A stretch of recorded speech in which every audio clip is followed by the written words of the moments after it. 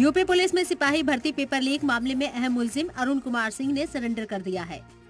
Paper leak मामले में पूरे सूबे में 178 एफआईआर जबकि तीन लोगों की गिरफ्तारी हो चुकी है और अब अरुण कुमार के सरेंडर को भी बड़ी कामयाबी के तौर पर देखा जा रहा है।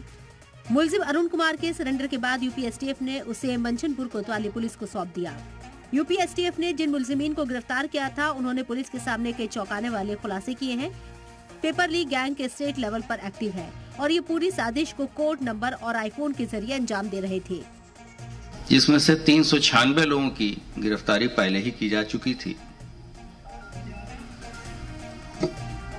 एसटीएफ ने भी इन्हीं संख्या जो 178 है, उसमें से 15 अभियोग एसटीएफ ने भी दर्ज कराए थे।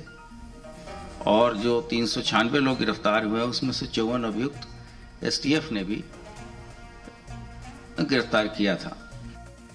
पुलिस अब गैंग के बाकी लोगों की गिरफ्तारी में जुटी है। वहीं उन जगहों पर जाने की तैयारी में है जहाँ जहाँ इन्होंने पर्चे दिए।